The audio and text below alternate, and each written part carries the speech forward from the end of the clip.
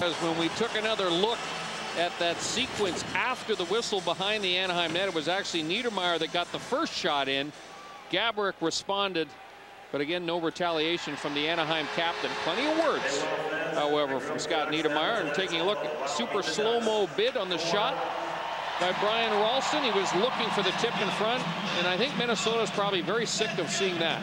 Chris Pronger using that reach and that tremendous stick position of his to deflect shots, to deflect passes out of harm's way. I know the Ducks were sick of it last May when they played the Edmonton Oilers. Well, Pronger has been sensational, and the Ducks, true to form, have weathered the early storm. Just 6-10 remaining here in the opening period. Now it's Walz centering Gaborik and Demitra and a great right pad save on Walz by Bryzgalov, and that one went off his chest. I'm not sure he saw it as Demitra, or Schultz, excuse me, just threw it towards the net out of the corner. And Gaborik just threw an elbow on Pronger, and when Pronger gets mad, better get your head up in a hurry. Walz with a bid that actually hit Veilleux. And now here's McDonald streaking in, and his shot deflected into the protective netting. Johnsson able to reach back and get a piece of it. Andy McDonald along with Ryan Getzlaf 12 shots on goal in this series. That leads the Ducks through the first three games. Yeah, he's been dangerous. It's all about speed with McDonald. Even in super slow-mo, he looks like he's moving pretty quickly. But a nice defensive play by Johnsson to get across, get his stick into the shooting lane and deflect that puck up and over the glass. Shawn Thornton comes out with May and Shannon. Game three of this series, Thornton made his playoff debut. He told me this morning, he said, a lot different than playing in the playoffs in the AHL. Not to overstate the obvious, we're going to get a whistle and a penalty call here. The fourth line has drawn an Anaheim power play opportunity, it would appear. As the Ducks will have the extra man when we come back in a scoreless first period in St. Paul.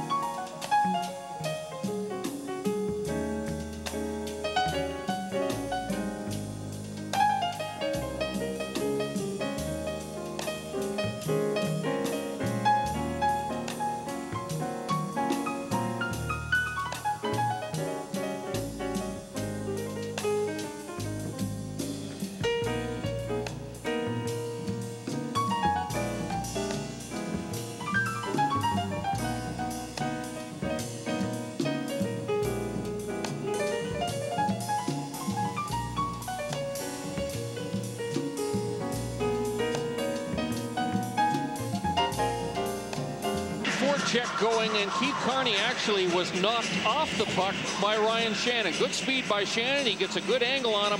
When Carney takes one hand off the stick and uses his other one to control Shannon, he gets hit with a holding penalty. So a great opportunity here for the Ducks, who've done a nice job of weathering the storm, and now with a power play chance of a real good opportunity of getting the lead in this series. The Anaheim power play has been awesome.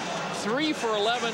That's better than 27%. They will miss Francois Beauchemin, who has two of the three Duck power play goals so far. Power play begins with Scott Niedermayer and Chris Pronger at the points. McDonald, Kunitz, and Perry up front. Carney, the plus-minus leader for the Wild this season at plus 22. A big part of their penalty kill sits for holding at 14.30. Pronger at the line. Off the stick of Perry and sent back down by the Wild, who will get a quick change on the kill. Yeah, I really thought that that was an attempted shot for a deflection by Chris Pronger. And he passes the puck very hard, but uh, that was a little bit too hard for Corey Perry to handle. McDonald separated from the puck below the goal line, and the Wild come away with it. Here's Walz pressing the issue shorthanded. As Veilleux with him, drops it back. Veilleux shot one off of Walz' leg. Bryzgalov trying to keep it in play. Shoveled it ahead for Niedermayer. And Anaheim able to recover possession. Well, what we have seen from this Anaheim power play are easy entries into the zone, and it's all about the passing ability of the Ducks. You saw it on that last entry. Great pass from Niedermayer to McDonald, and they're able to get into the zone and get set up. And here's what I'm talking about. Niedermayer, perfect pass right through what players call the triangle between the heel and the toe of the skate. McDonald gets into the zone. The power play gets set up. And perhaps Kent Huskins rush that shot just a little bit. I'm sure when he gets back to the Anaheim bench, Randy Carlyle will say, take your time, plenty of time in the offensive zone to really work the puck around and fatigue the penalty killers. Yeah, Andre Racicot, the linesman, makes the call. The Ducks unable to stay on side there. And we'll remind you that you can be at Honda Center for all the action this spring in the 07 Stanley Cup playoffs. All you have to do is put a seat deposit for next year's season tickets down. Call 877 Wild Wing or log on to AnaheimDucks.com for more information. A minute five remains in the Anaheim power play. Another easy entry as Selanne got it in for Scott Niedermayer. Quick puck movement, works it around. They over, overload the right side of the zone. Selanne takes it behind the net and loses the handle. Scott Niedermayer drops down. Selanne back for Pronger. Across and the one-timer by Getzlaf who fanned on it. Well, that's too bad. They set it up nicely. Well, they moved it around quickly. And, you know, eventually when you move the puck as crisply as the Ducks are moving it, you get prime scoring territory with the puck on your stick. Down low, it's Selanne. Half a minute in the power play. Teemu looks up. Back to the point for Getzlaf. Getzlaf looks, uses that long reach down to Selanne, who tried to quickly go high short side, missed the net, and it comes around and out. Remember, the Ducks are thinking about Nick Backstrom and the style where sometimes he has a tendency to overplay situations and be a little bit too aggressive. If he gets too far out of that goal crease, those quick shots, even from severe angles, become very dangerous. Penalty to Carney winding down. He will step out of the box and Minnesota full strength. Anaheim authored just one shot on goal in their two-minute man advantage. No score, 3.25 to go in the first. Rob Niedermayer pestering Burns and then Moenfant trying to one-time. Puck trickles back to neutral ice and Burns pounces on it as Walz with him. Burns from an angle and the rebound kick past two driving Minnesota players. Now it's Pahlsson the other way, and he whips one using the defenseman as a screen, and Backstrom with a good save covers up. Ilya Bryzgalov comes up with a real nice stop on Brent Burns. Burns, very offensive-minded defenseman. He's outside of the dot when he releases that puck. So Huskins does his job, forces the player wide from that angle. There is not much to shoot against when you're playing a goaltender the size of Ilya Bryzgalov. From super slow-mo, you see Bryzgalov able to get the blocker on that puck, deflected harmlessly away from the front of the net. Teams have combined for 23 shots on goal in the first 17 minutes. 14-9 advantage for Minnesota, no score. Selanne in the left corner in front for McDonald, who had his stick lifted at the moment of truth by Schultz. And the Wild feed it back out. Demitra got bumped by Selanne, and the loose puck angled off the boards and out by Scott Niedermayer. Kunitz lifts it in. Schultz pressured, moves it up the near boards, and the Wild away. Radivojevic got it to Demitra. Across the line, drops it back for Gaborik. Makes a couple moves and then fires wide. Up the far boards, Burns steps from the point, bumped by Pahlsson. Good play by Sammy, and O'Donnell recovers the puck for Scott Niedermayer. Yeah, what a nice play by Sean O'Donnell to use his body, get to a loose puck, and then chip it to his teammate for an easy clear. Rob Niedermayer below the goal line, using his body to protect the puck, got it back for his brother. Tries to get it to the net, it's blocked, sent back to the point, and Niedermayer able to step back in and keep the puck alive. Getzlaf covers the point for him, slides it across. O'Donnell, a pass to the slot that went through Moen. Rob Niedermayer tied up with Nick Backstrom, and Backstrom right now gesturing to the official in the corner, begging for a goalie interference penalty. O'Donnell stepped up at the blue line, forced Rolston wide, and Penner recovers behind the net, rims it around, but Carney activates to keep it up the right boards, then gets upended. Rolston from behind the goal. Cycles it back to the corner. Parrish returns the favor, goes off a Skoula stick to the line, and a long shot blocked by O'Donnell, who angled it out. That's sent back in by Skoula. Offside is the call once again by Racicot. I mentioned moments ago that Nick Backstrom was trying to get a call. Here was the contact. Watch Rob Niedermayer stationed in front of the net and keep an eye on him. He gets in behind, loses his balance for a second, actually ends up behind the goaltender and quite honestly doesn't go out of his way to get out of the way of Nicholas Backstrom. And uh, as a former goaltender, I would say that Nick Backstrom may have had a valid beef there. You're just trying to get your union status back. The union status left a long time ago, Johnny. I've been lobbying for smaller pads for how many years now? Just a minute 20 to go here in a scoreless first period as the battle along the far boards inside the Anaheim zone finally won by Kunitz who clears. Skoula feathers it in. Turning to get it is Huskins. Looks over his shoulder, sees Adam Hall coming, and reverses it away. Selanne drops down to help out, got it away to center. McDonald couldn't win the race for it, but still battles for it. Under a minute to go in the period. Todd White has it in the neutral zone and lifts it on the backhand in. Minnesota will get one last change. Pronger picks it up from behind the goal and just does a circle. Yeah, Anaheim, the longer this game goes tied, I really think it favors the Ducks. It's the Minnesota Wild that are trying to capture momentum in this series. But you do get the feeling, Johnny, that the first goal of this game is going to be huge. Schultz pass broken up in the neutral zone. Nice play there by Pahlsson, who takes it into the Minnesota end. Again, pulls it in and takes a shot that just missed the mark. Gaborik bumped by Pahlsson, who took it away. Sammy Pahlsson drops it back. Moen comes in, pulls it to the backhand, curls it back. It's loose at the side of the goal and taken away by Demitra. And once again, it's the shutdown line, not only shutting people down, but creating scoring chances for themselves. Final 10 seconds of the period.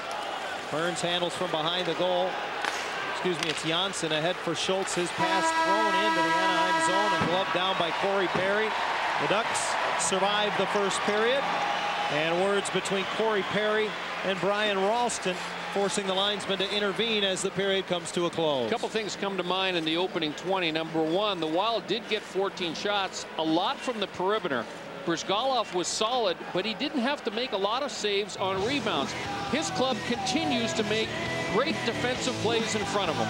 And they continue to frustrate the state of hockey. Through one period of play at the Xcel Energy Center. No score between the Wild and Ducks in game four of their Western Conference quarterfinal series.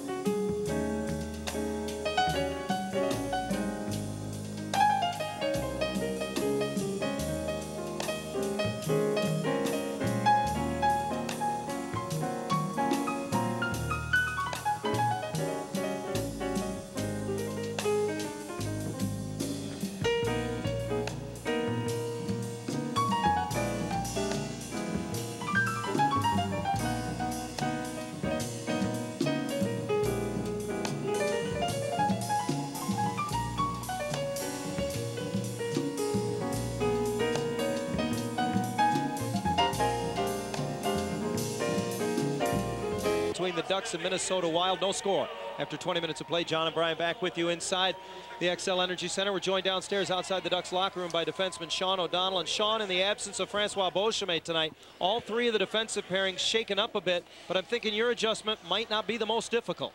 Uh, no, I think uh, with the exception of one shift, I've, I've played with uh, with Pronger, who I normally played with, and then the other one I had with Scotty Niedermayer. So if that's the way Dave wants to do it, I don't mind playing with either one of those guys. Yeah, not a bad choice, that's for sure. Sean, tell us how you guys have been able to hold the blue line. So much has been said and written here, especially in the Minnesota papers, about Anaheim's system.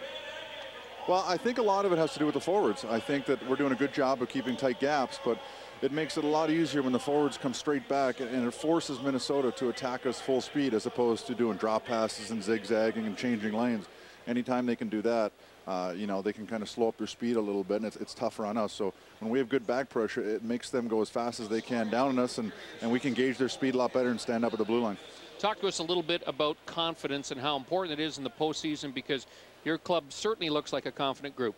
We are. I think that we, uh, you know, one of the things about playoff hockey is I think that that's the style we've played most of the year. You know, the way you're seeing us play now is the way we played in October, and November, and December. And, uh, you know, we're comfortable with it. We like the physical stuff. We like the low scoring, low chance games. And, uh, you know, Briz is giving us great goaltending right now. So, you know, we're, uh, we're a confident bunch. And, and we, uh, you know, we thought we had a pretty good first period. And we'd really like to wrap this thing up tonight and not give uh, Minnesota any momentum. Sean, in order to do that, this building has an awful lot of energy, and it is the feeling the longer you can keep it at least tied or better and keep this crowd out of the game, the easier it might make your job? Well, I don't know about easier, but I think that, you know, these fans are just waiting for something to cheer for. I mean, they're, they're great fans here, you know, arguably the best in the league. And, and right now, they're, you can kind of tell they're kind of antsy right now. And, uh, you know, they're waiting for a reason to really get on their feet and get behind their team. So we're doing our best to try and keep them out of it and, you know, hopefully get that first goal and, and maybe frustrate the fans a little bit and frustrate their team and see what we can go from there. Sean, as always, thanks and good luck. Okay, thanks, guys. Sean O'Donnell joining us downstairs. We're through one period of play here at the Xcel Energy Center. It's game four between the Wild and Ducks. Anaheim leads the series three games to none. We have no score.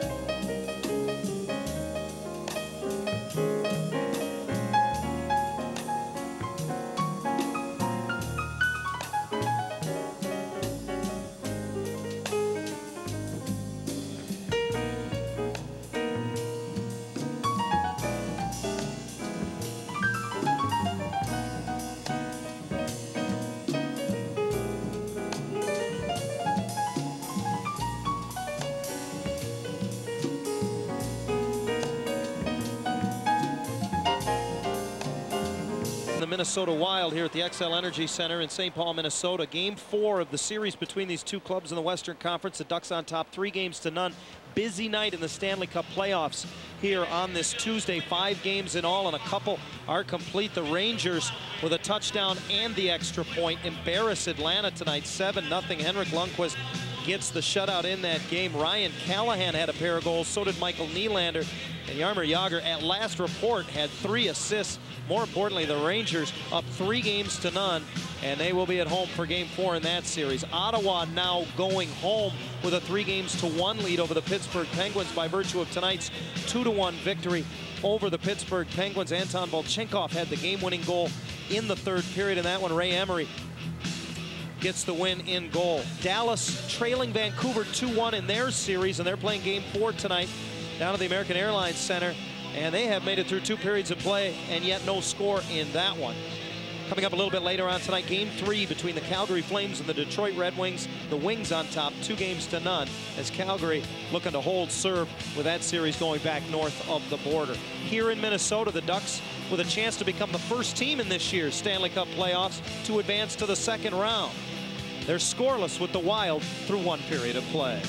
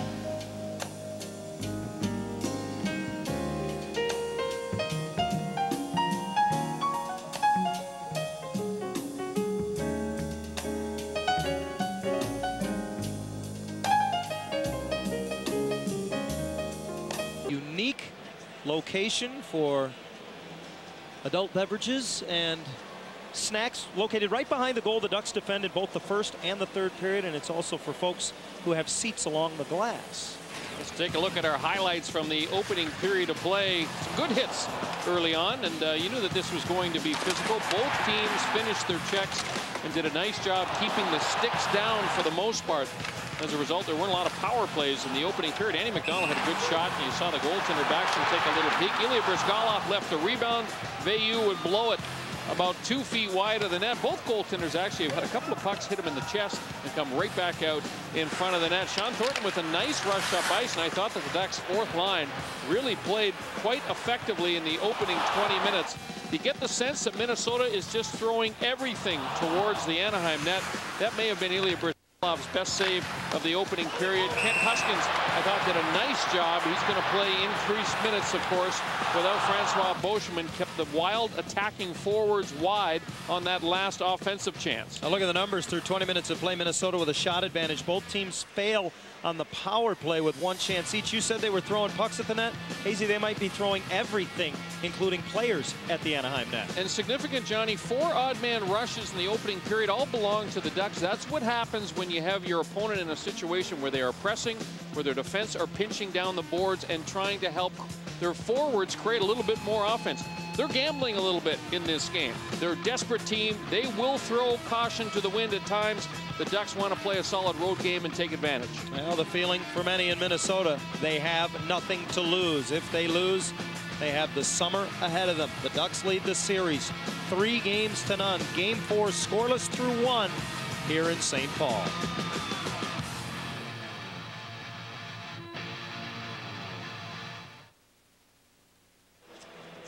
On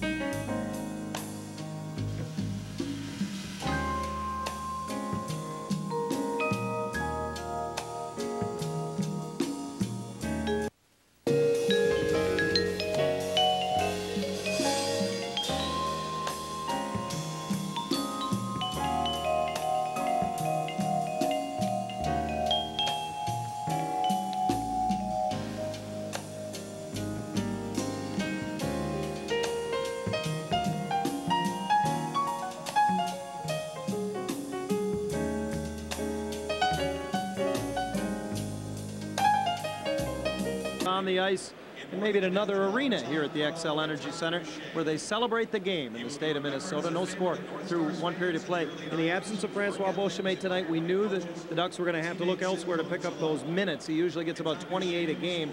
We knew Kent Huskins was going to get some of them. He played over seven minutes in the first period, Brian. He hasn't played more than 10 in any game in this series. He did a great job. Uh, it was interesting what Dave Farrish said. He, he talked to Aaron Rome and he said, just be confident, rely on the system because there's a lot of other people that are playing well defensively in front of you. And I think that's what we saw in the opening 20 minutes. Once again, Minnesota unable to get in behind the Anaheim defense. Remember, this is a quick strike offensive team. The Minnesota Wild are. They have not been able to get in behind the Duck defense. So the system is a big reason why Anaheim's been able to keep so many pucks out of their net. How daunting and difficult will it be for, say, Aaron Rome to hold that blue line when he looks up and he sees Gaborik or Demitra trying to get some speed in the neutral zone? Well, it's going to be intimidating, and uh, of course, the second period is the tough change period, and it's it's easier for Jacques Lemaire to get that matchup Marian Gaborik against the inexperienced Anaheim defender. So this second period is crucial for the Ducks. Also, no surprise, both Scott Niedermayer and Chris Pronger exceeding 10 minutes of ice time in that first period of play. I hope they're catching their breath. Chances are they're going to get a lot more in the final two periods. We're back with the second period of play in a moment.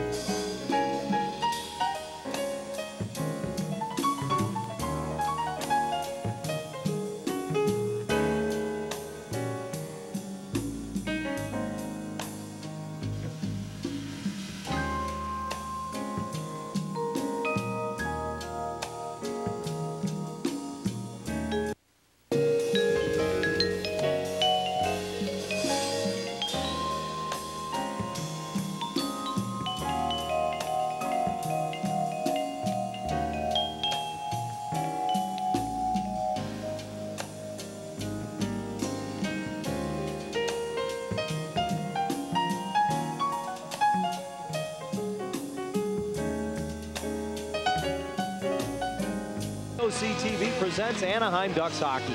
Brought to you by Miller Lite. Good call. By Honda, the power of dreams. And by Pepsi. It's the cola.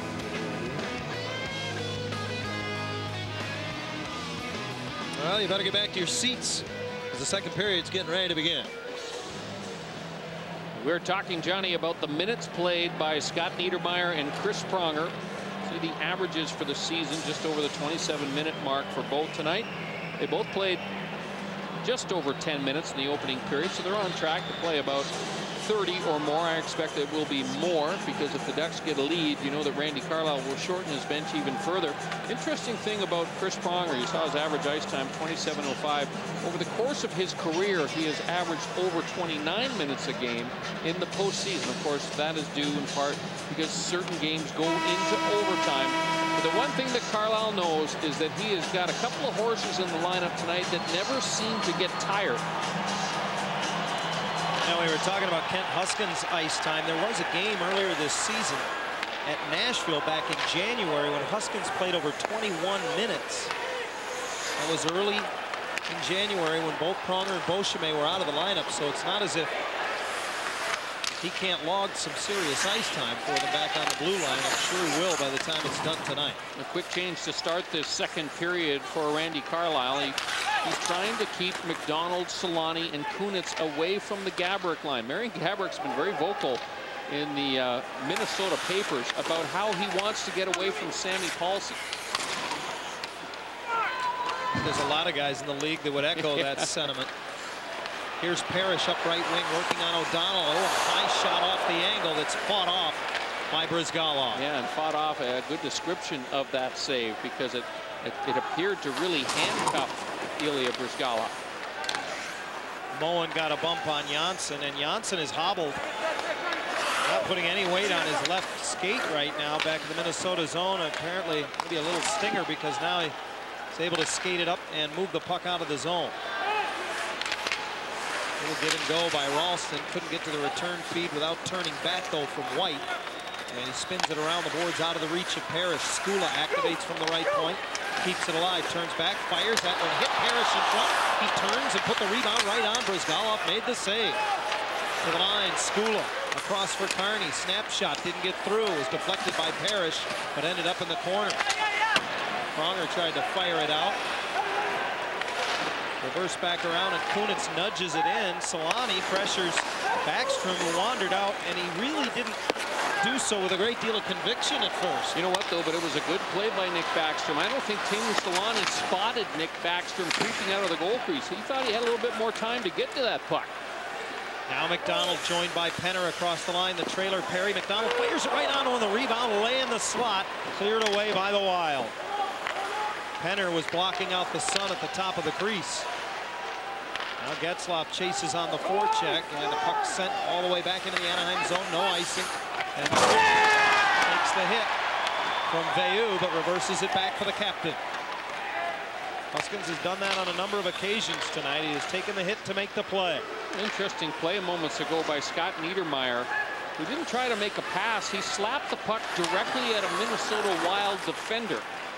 Mario Lemieux used to do that all the time when he played for the Pittsburgh Penguins because it's pretty difficult to control a puck that has been slapped at you with a lot of velocity on it. Huskins turns away from the hit of Hall. His pass behind the net, though Getzlaf unable to possess as Bouchard stepped into it. Koivu off Cashmark keeps it alive for Bouchard behind the net. He can't reach it. It comes all the way to Burns, who activates from the point. Bouchard trying to stuff it on the backhand from behind the goal, and the save made by Bryzgalov. The rebound away by Penner. And Backstrom once again comes out of the goal crease and negates another icing. The Ducks in transition, and the stretch pass. May can't get it over for Perry. Cleared away. Scott Niedermayer plays it back, and Boogaard took a run at him. May comes over to talk to him about it. Play goes on. Shannon throws it to the net, blockered away by Backstrom, who was run into by Thornton, and then Boogaard takes a run at Thornton. They continue to talk, and play goes on. Parrish banks it into the Anaheim zone.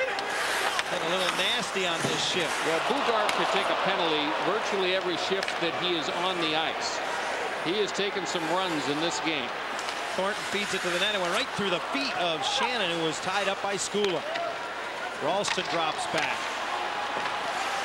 And now moves it ahead. Walz speeds in. His shots stick to the corner by Bryzgalov. Wes Walz had four shots on goal in that opening period, and Aaron Rome just crunched him along the boards, and he's slow to get back up.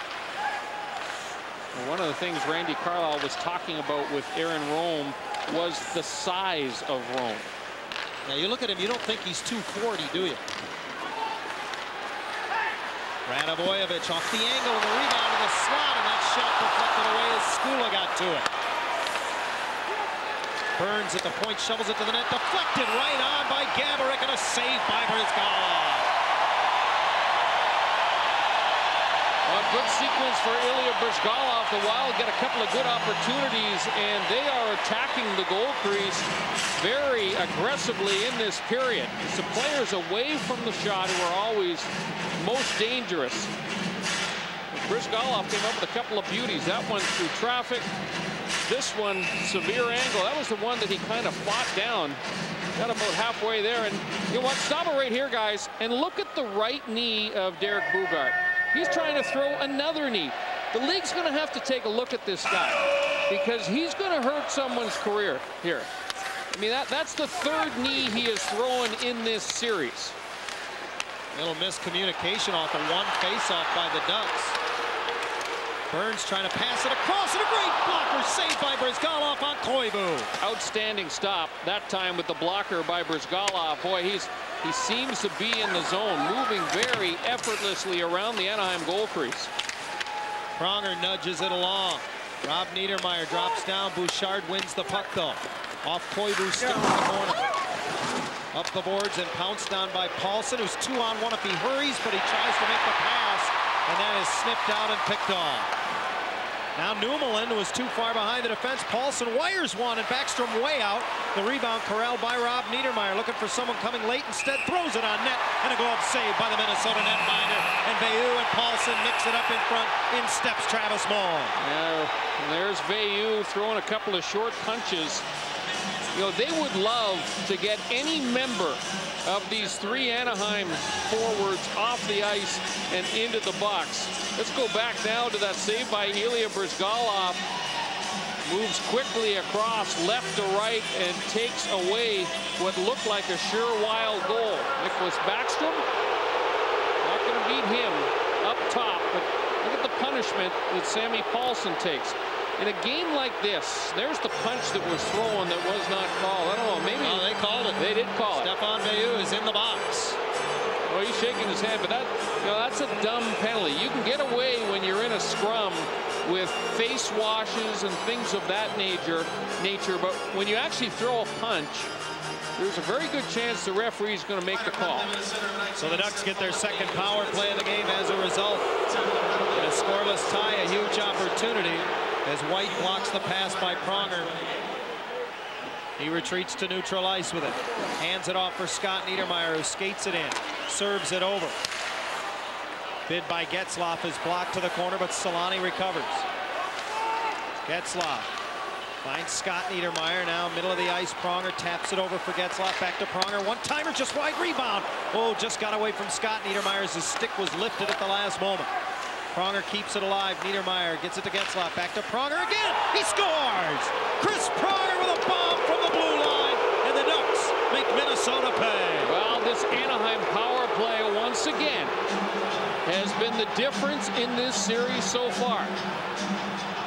And Pronger has an overpowering shot from the point, but it's always about the traffic that is set up in front of the opposing goaltender is the main reason why pucks end up in the back of the net.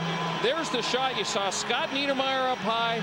Dustin Penner was also in the vicinity. And judging by the reaction, watch the reaction by Chris Pronger. You know, just before that, he delivers a fist pump. And I was thinking the other day, looks a lot like Tiger Woods when he makes a key putt. The right-handed fist pump from Pronger. Well, Pronger assisted on both Anaheim goals in game three. And he has his first of the playoffs at 6.08. Johnny, and Lemaire comes right back with Boogaard. And to me, he is rolling the dice. Because every time Boogaard's out there, you know the referees are going to play uh, special attention to him. He's already throwing a knee, and they're aware of that. Lemaire was asked earlier in the series if he thought the officials would pay close attention to Boogaard in this series, and he said they have all year. So, yeah, I knew they would. Shannon rims it around and out, and it got by Carney, so no icing. And the race is going to be won by Getzlaf for the loose puck. May from behind the goal steps in front, tries to stuff it at his stick deflected at the last moment. Boy, too bad he had Ryan Shannon right on the doorstep. And I don't think Brad May realized that it was Shannon directly in front of Nick Backstrom. I don't think he realized there was no one back to defend either one of them because Shannon was alone in front and then May found himself alone in front when he stepped out from behind the goal much to the displeasure of 18,000 plus at the Xcel Energy Center. Chris Pronger has put the Ducks on top on the power play.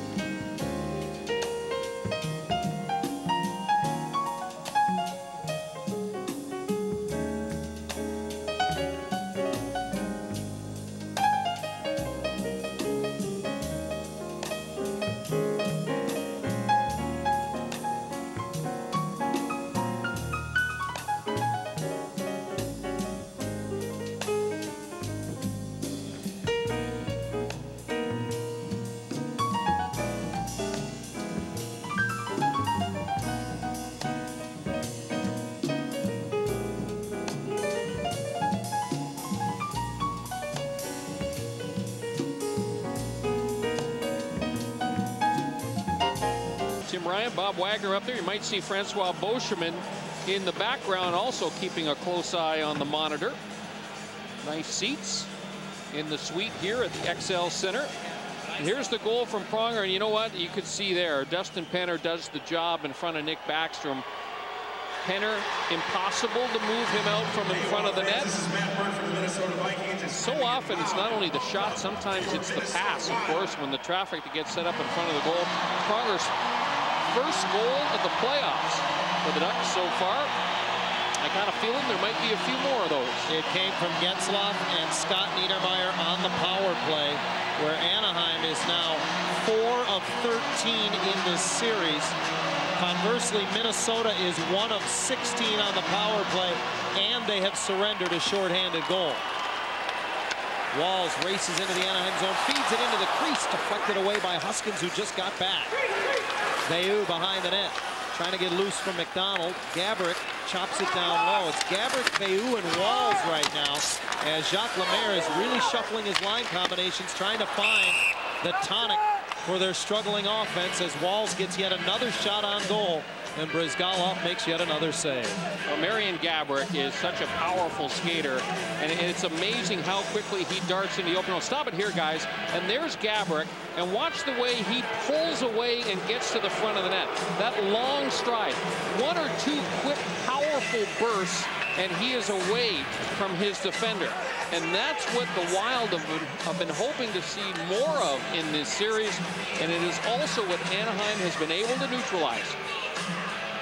Sammy Pahlsson steps in to take the draw. Pahlsson has taken over 50% of the faceoffs for the Ducks in the last two games.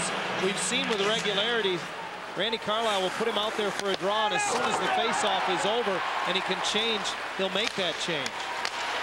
Sammy took 60% of the draws in game three. He's upended at the blue line as Pronger intercepts and moves it back the other way. Perry across for Getzlaf. Getzlaf angling in, forced behind the goal. Gets it back in front. Shannon's shot is blocked. Right, Ryan Shannon's had a couple of opportunities in this game, Johnny, and you know, a lot of that has to do with the speed of Ryan Shannon. He's able to jump into those holes. That time, you may have noticed he yelled a lot louder than he did when Brad May had the puck behind the net. The Ducks will open next season in London with a pair of games against the Kings. It'll be the first time the NHL has ever played a regular season game in Europe. And the organization is organizing a trip for fans to see the games live. Go to AnaheimDucks.com to register to receive fan trip information. There's that last bid by Ryan Shannon. Goes hard to the net. It was a perfect strike delivered to him. Unfortunately, the puck got blocked en route to the goal. Incidentally, the assist on the power play goal to Scott Niedermayer, his first point in this series. So now he has as many as his brother Rob. Funny to think about it. The Scott Niedermayer first assist, Chris Pronger his first goal, and yet all the talk is about the dominance of Pronger and Niedermayer through the first three games of this series. And of course, what we expect to be their heavy reliance for the Ducks on those two in this game here tonight. Huskins bumped by Demitra, but the loose puck swept to the corner by Sammy Pahlsson. And finally, for the first time in the series, Marian Gaborik double shifted, and oh boy, Ilya Bryzgalov he got lucky. almost put one in on himself. He broke up the centering pass with the blade of his stick and had no idea where the puck was. It was laying right in front of it. When a goaltender uses his stick and puts it into the passing lane, there's always a risk that the puck can deflect off the heel of the stick and come back towards the goal. And this is what happens. Demitra throws it out in front. It's off the heel, and it goes back into his pads. And I got to tell you, that is the most uncomfortable feeling in the world. And all you're hoping for is not to hear the cheer at this point, because you don't know exactly where it is. You can't move too much, or you might move it over the line. But there it is off the heel of the stick. Now it's in his equipment, and he's just hoping at this point. Pahlsson wins yet another faceoff, one-handed up by Pronger, and Rob Niedermayer muscles it out of the zone. Bouchard brings it back in, gets an angle. Backhander, and the rebound played away by Pronger. Bouchard got inside position on Aaron Rome, but he didn't have much of an angle left to get the shot past Bryzgalov. Now the puck exited the zone as Burns rockets it back in. It's offside. Well, Brent Burns has been hanging in and hanging in a little bit longer. the offensive blue line, again, trying to create more opportunities. But one of the players that has stood out for me from a Minnesota perspective has been Bouchard in this game. He's been a little bit more dangerous than we saw him through the first three games of the series. In fact, that was his first shot on goal of the series. Well, you know what? And, and people will always talk about Bouchard, and, and you consider him a playmaker first before an actual goal scorer. But uh, sometimes when teams are taking away his passing options, he's got to start throwing it into the crease himself. Well, he is one of the five 20-goal scorers on the Minnesota roster from this regular season. Andy McDonald working with Selanne, speaking of 20-goal scorers, unable to get the pass back to Teemu. The puck cleared away, and McDonald will hinge it all the way back for Sean O'Donnell. Nearing the halfway mark of the hockey game. The Ducks on top of Minnesota 1 to nothing. McDonald redirects it in off of Brent Burns right on the Minnesota net. Yeah, Brent Burns touched that puck and a little bit fortunate perhaps that the goaltender Backstrom had not exited the crease to try and play the dump in. Burns starts out of his own zone. Spent the better part of his first few years in the NHL playing forward. Now Parrish wins the puck from O'Donnell and plays it back to the line. Skoula crossing the zone. High slot. Hall over top of the goal. Boy, a golden opportunity there for Adam Hall, and he missed the mark. O'Donnell out this time with Aaron Rome, and Rome moves it ahead. Perry gets it in. Perry has position on Skoula as they go to the corner after it. Skoula bumps it loose. Penner and Getzlaf unable to keep it alive down low. Back come the Wild, three abreast through center. Gaborik pulls up for Rolston. Big save, Bryzgalov. What a stop by Ilya Bryzgalov. And we got a penalty coming up here against Anaheim. But the story of this game has been the excellence of Ilya Bryzgalov because the Wild all of a sudden are starting to get some glorious scoring opportunities, but the Anaheim netminder is holding the lead for the Ducks.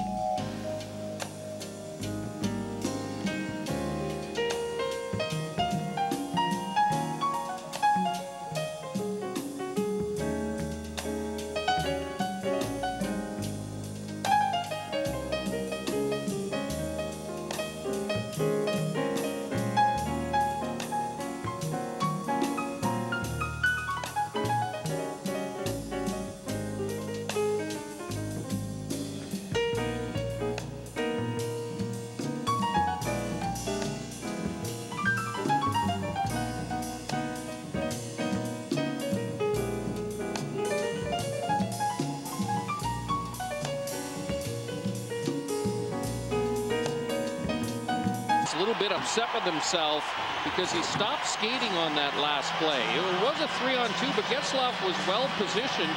But Brian Rolston got a step on him, got a glorious scoring opportunity by just jumping into the open hole. And that's, you know, that's the cardinal rule when you are back checking is that you stay with that player, keep your legs moving all the way back to your own goal line if necessary. Second power play of the game for Minnesota as a result. That's exactly why they are 0 for 1 tonight. And just one shot on goal in their previous man advantage. So they come to their feet and wave their towels at the Xcel Energy Center. Trying to get their club back in the game. And a goal would tie it. Anaheim wins the draw. Who else? Sammy Pahlsson. And O'Donnell sends it away. Boy, Pahlsson's been real good in the face-off circle in this game especially in this second period where the changes are so much more difficult. Now O'Donnell kicking at it along the corner boards. It comes loose to Parrish. His shot blocked by Scott Niedermayer. Back to the corner. They muck for it. It's knocked loose and trickles out of the zone. Rob Niedermayer racing after, jumps around Rolston and will pressure Nummelin.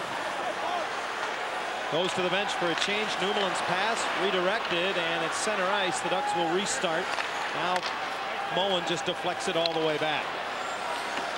Haven't seen much of Nummelin here in the second period. He led the Wild in ice time in game one. but primarily inserted into the lineup to try to help their struggling power play. And here's Kunitz now going to pressure him as the Ducks press the issue shorthanded. Kunitz shot blocked by Nummelin, lays in the crease. Oh, and nearly able to get back to it was Kunitz. And you know that's part of the Anaheim game plan. They will pressure Nummelin when he is out there on the power play. His strength is as an offensive defenseman. He's just a little guy. And the Ducks feel like they can take advantage of that lack of size of Nummelin. Bouchard bumps as he dumps it in, and it's recovered by Hall. Rim back around. Johnsson slides it across. Burns lets it go wide on the short side. Battling for the rebound. Bouchard keeps it alive. Half a minute to go in the power play. Rob Niedermayer drops down and bumps Veilleux, freeing the puck up, and O'Donnell ices it. Yeah, it's a big clear, and you see Nick Backstrom trying to keep that puck alive to make it tough for the Ducks to change, and he does. The penalty, penalty killers can't get up. Johnsson's pass ramped in by Radivojevic. Sammy Pahlsson clears on the backhand, and that'll pretty much do it. Getzlaf's penalty has just five seconds remaining, and Selanne's going to force Backstrom to leave that puck deep in the zone. Yeah, good decision by Backstrom, who thought about trying to make a play with that puck, but Selanne was in the middle of the ice. Now Teemu strips it from Burns, gets it to McDonald. The backhander, big save by Backstrom. Rebound loose in the slot, and finally tracked down by Selanne. DePenta with a one-timer that missed everything. Up the boards, Rome pinches down low for McDonald. And he tries to spin away from Burns. The penalty to Getzlaf over. Again to the line. Rome shot off a couple of legs. Andy McDonald, oh, headed back in the crease behind Backstrom, but it's fished out by Johnsson. Oh, what a break for Nick Backstrom. Looked like Andy McDonald was so close to a wide open net. He could not slide it into the cage, however, and Backstrom showed pretty good athleticism getting back into the play. The Wild had no shots on goal on that last power play. White gets a shot on goal, and that's off the high glass as Bryzgalov kicks it away, but Parrish gets to the carom. Mark Parrish trying to stuff it on a sharp angle. Holding the post was Bryzgalov, and the rebound cleared away. You know, Parrish has been really aggressive in terms of trying to jam pucks in from the corner. What a second period this has been. The pace absolutely sky high and great scoring chances at both ends. Icing will be the call here as Huskins beats Adam Hall to the loose puck.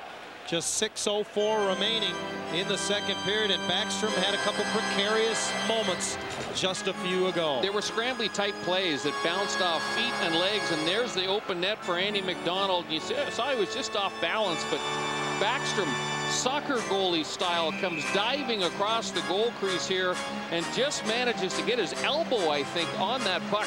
Otherwise, the Ducks have got a 2-0 lead in this game, but what a sensational save by Backstrom. Face-off win this time by Ryan Shannon in the offensive zone, and May from behind the net tried to stuff it in front. It went off a Minnesota defender and right through the crease.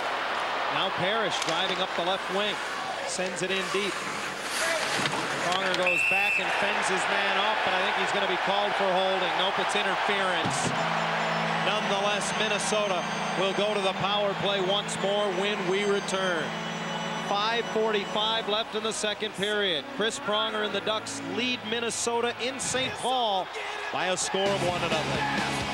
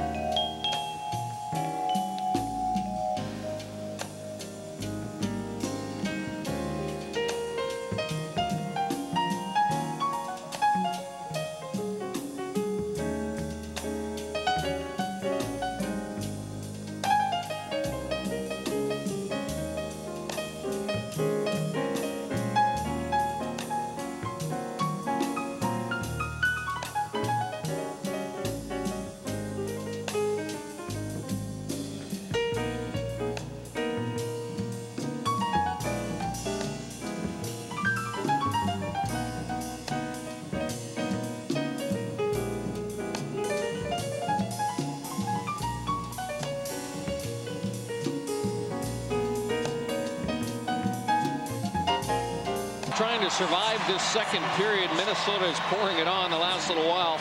Chris Pronger just got nailed with an interference penalty. See him getting one hand up in the chest of White. White's trying to get to the loose puck. What Pronger was trying to do was to buy some time for his partner or Donald to field that puck cleanly, but he got caught. It's an interference minor against him, and so Minnesota, which has been getting a bunch of good scoring chances in this second period, get another power play bit. Penalty kill. With O'Donnell defensively, Sammy Pahlsson and Rob Niedermayer up front. What a story this penalty kill has been for the Ducks. They've only allowed one power play goal against now in their last eight games. Burns on the left point swings it around in behind the goal. O'Donnell turns and angles it off the boards all the way back. Backstrom very active to try to move it up, and Rolston is there to get it.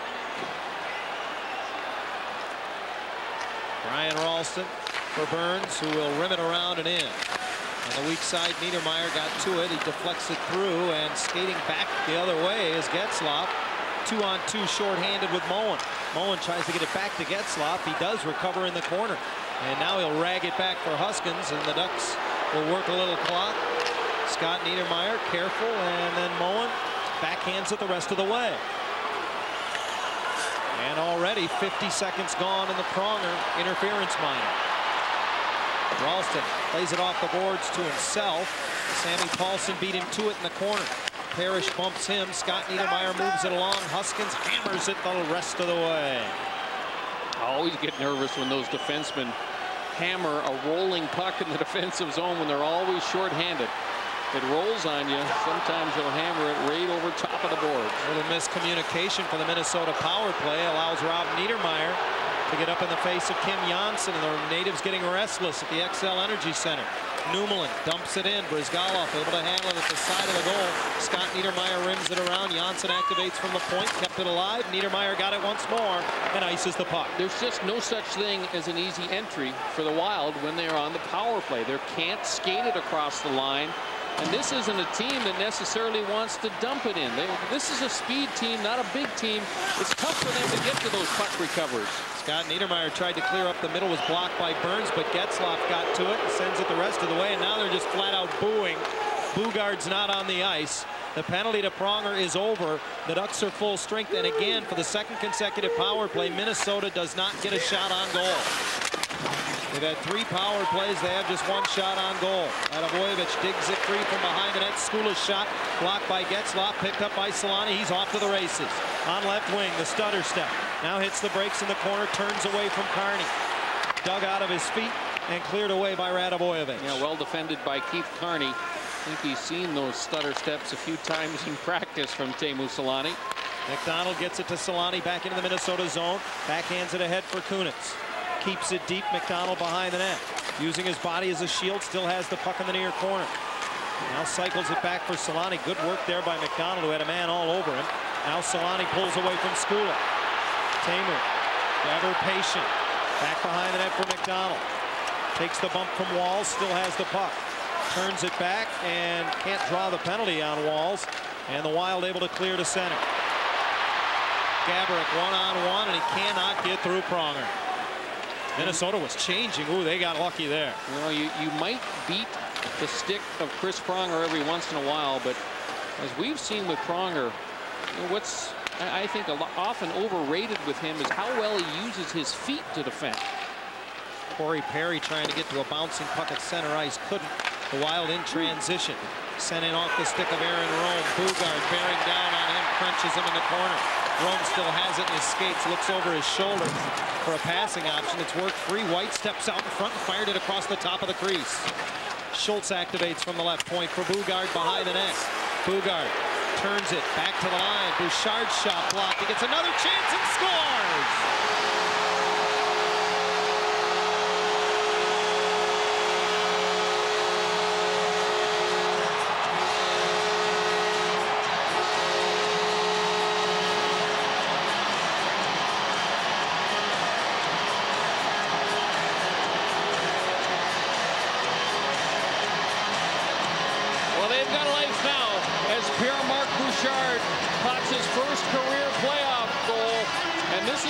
Puck recoveries. Boogaard makes a nice play to get it back to Bouchard, and he gets a fortunate bounce. The initial shot blocked, but it comes right back to him. and he hammers the second one. And I think that puck goes right through the feet of Ryan Getzlaf off the post and in. It took a perfect shot to beat Ilya Bryzgalov. Well, Bouchard shot there. In fact, he shot twice. And he has tied the game and given this building every bit of its name, energy, and then some. The goal at 18.03 of the second period. And we're tied at one. Walz for Minnesota offside, and I don't think anybody in the building heard the whistle. The only people that heard it were the people on the ice. They love the fact that Boogaard got an assist. Schultz got the other. And the Wild have evened this game at one. Teemu Selanne having a little discussion, trying to plant a seed, perhaps, in the mind of referee Paul Devorski. Loose puck in the Minnesota zone, tracked down by Johnsson, who tips it along for his partner Schultz. Scott Niedermayer steps into Veilleux and takes it away. Throws it towards the net, and it deflects right up to the glove of Backstrom, who holds on. There you see that rover ability of Scott Niedermayer that Randy Carlyle is always talking about. He, he, makes things happen because he gets into situations or spots on the ice where few other people would dare venture. He can do it because of the skating ability that he has. Wandered all the way down into the corner that time.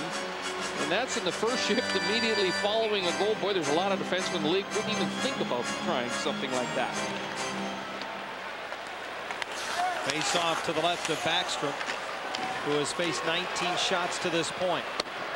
Rob Niedermayer throws it wide on the short side. Pahlsson on the right wing boards. Now plays it to the corner for Travis Moen. Moen behind the net for Niedermayer. Niedermayer had the game winner in game three. Tries to turn away from Burns. Has the reach and then has a samurai swatted off his stick by Backstrom, the goaltender. Back comes Rolston, who sends it into the Anaheim zone, and Demitra tried to throw it towards the net, blocked by O'Donnell. Gaborik comes over to the near side, and it's deflected out by Moen, and we get a whistle. A penalty coming up to the Wild. Yeah, and I think this is going to go against Marian Gaborik, and it could be interference. The call on him. We'll, we'll wait for the referee. And it's going to be a hooking penalty. Dan O'Rourke's call is unpopular with under a minute remaining here in the second period. Well, Gaborik was away from the puck and he got a stick into the midsection of one of the Anaheim defenders trying to allow his teammate to get to a loose puck and it's going to cost him. See if we can pick it up. There's the hook right there on Gaborik on Sammy Pahlsson and it is going to cost him a couple of minutes here so that's a good break for the Ducks because this place was going crazy. The Wild trying to generate something on the attack. 45 seconds to go in the period as the play goes into the Minnesota zone and Schultz can't clear. Kunitz held it in. Schultz to the corner and his pass up and will be brought back by Walz. Walz and Veilleux shorthanded and Veilleux drifts it high over top of the Anaheim goal. Pronger kicks it free. Now 25 seconds in the period as Kunitz speeds through center. Into the zone, an ill-advised drop pass that is just cleared by Burns. If he'd have been able to possess that, excuse me, it was Koivu, could have been two on one the other way. Now Kunitz carries in up the left side, winds up a stick save made by Backstrom to the corner. Five seconds in the period as it's thrown to the point. That came outside the line. Pronger fires it back in and around. That's going to do it for the period. And the Ducks will carry over power play time when the third period begins. A very crucial minute 12 with the extra man to begin the third period. I think Anaheim will be satisfied that they go into the third period needing only to score one more goal than the Wild do in order to win this series. Because, uh, boy, the Wild seem to be pouring it on. But let's not forget about some of the scoring chances that the Ducks had in that second period. I mean, Nicholas Backstrom absolutely robbed Andy McDonald, or the Ducks would have had a two-goal lead in this game. So Ducks are well positioned. All of the pressure heading into the final 20 minutes is on Minnesota. And as we know, sometimes when people are under pressure, they make big mistakes. Well, it has been a little more wide open than the last couple of games in this series. The teams have combined for 45 shots on goal through the first 40 minutes of play. But, Brian, it's as simple as this for the Ducks. Win a period, win a series. And they would love to get this over with. I mean, they're, they're banged up a little bit, as all teams are at this stage. They know that Francois Beauchemin could not play in this game. They'd love to be able to buy some time before they find out who their next opponent would be. But it's not going to be easy. All the scoring in the hockey game coming in the second period. Tied at one in Minnesota after two.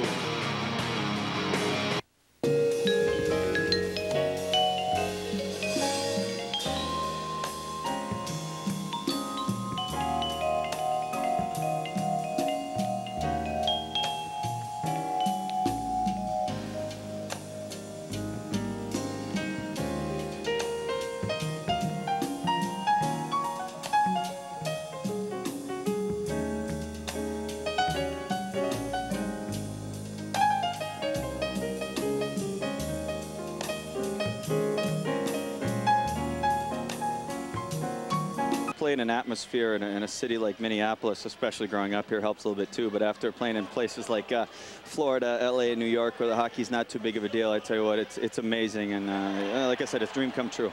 Talk to us a little bit about the aggressive offensive posture your team has taken so far in this game. I know goals have been hard to come by, but boy, you're attacking that goal crease tonight. Uh, you know, their D have been playing so well and making it so tough to get anything just at the goalie, let alone by the goalie. And we knew we just got to throw everything we can at him. You know, there's nothing to lose. There's no tomorrow for us if we don't show up tonight. So, you know, we're just trying to get as much as we can at the net and get some rebounds, some ugly ones, a couple off a stick, and, uh, you know, some go in kind of like Bouchard's there, one off, I think, Pronger's stick there. In a situation like this where you really have nothing to, to lose, is it more pressure or is it less pressure? You know, it's almost kind of less pressure. You kind of go out there a little bit relaxed. Uh, you know, all the pressure's on Anaheim right now. They're up 3 nothing. It's their job to close it. We got, like I said, we got nothing to lose, so we just throw everything at them and, you know, hope some of it goes in. Mark, thanks so much for doing this. Thanks, guys. That's Mark Parrish. Last season, he had 16 power play goals, splitting the year between the Islanders and the Los Angeles Kings. He and his Wild tied with the Ducks at one.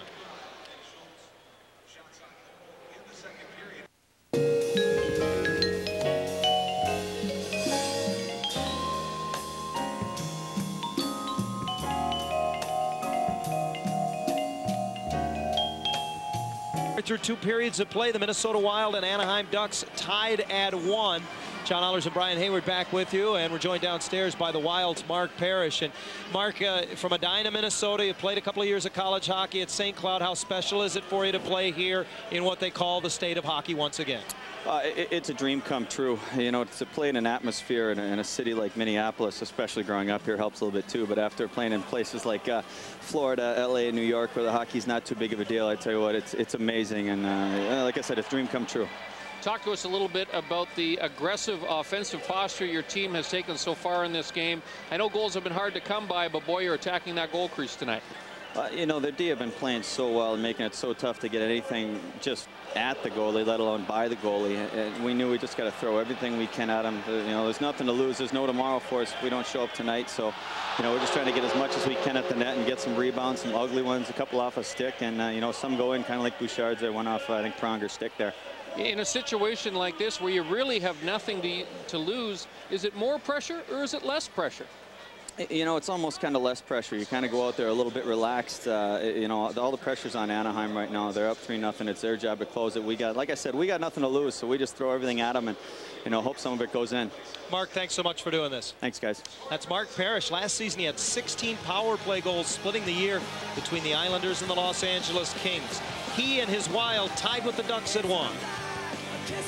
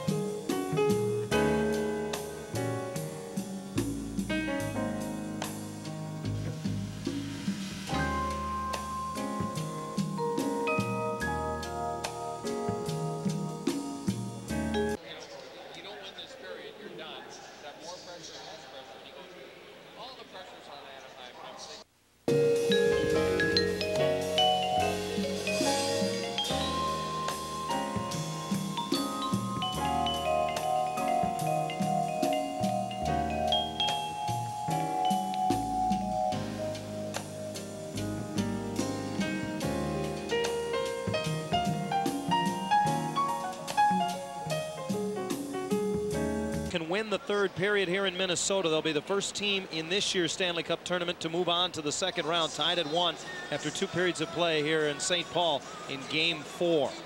It is such a special time of year, the Stanley Cup playoffs. You have to win four series, you have to win 16 games. But a little earlier this season, we had a chance to sit down with a number of the members of the Anaheim Ducks and find out their first recollections ever of hearing of that trophy called Lord Stanley's. It was, uh, I went to a hockey school actually back when I was really young, back in uh, Rouyn-Noranda and there, the Stanley Cup actually showed up at the hockey school, and I got a picture taken with it, and you know I got to see it. So that was probably you know my first memory as a as a child growing up. I remember a little bit back when uh, the Oilers were really good, and, and watching them all the time, and, and those kind of series that they played in, and how much of a battle those things were. I think it was when Jari Kurri and Edmonton Oilers when they had their glory days in the 80s. Um, I was watching the games in the finals when they raised the cup and Jari Kurri was holding it. Probably that time, I saw that the first time. It was in a Atom hockey tournament in uh, Winnipeg, and the Stanley Cup, I think, was being paraded around Canada, and it just happened to be in the mall that day, and a bunch of us got our picture with it, so it was kind of cool. Did you touch it? Unfortunately, by accident, I did, yeah.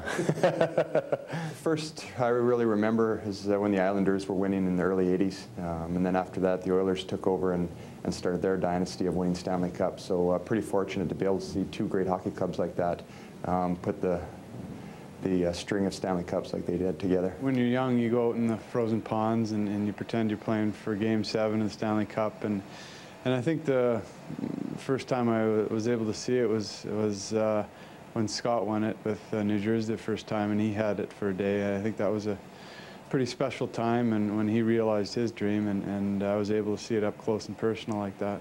You know, as a kid, uh, you really don't uh, realize what a tough what a tough thing it is to accomplish that. You just you know you dream of it, and you know playing street hockey about you know you might be the one that to raise the cup above your head, and and then uh, to actually be in the NHL and real you know realize that you know you got an 82 game schedule and then go through playoffs. It's it's pretty rewarding, I think. For me, it was the salad days of the Winnipeg Jets when I was just a wee tot watching Brian Hayward and the rest of the Jets battle it out with the Edmonton Oilers. Of course, I was so very, very young at that point in time. We're back in a moment.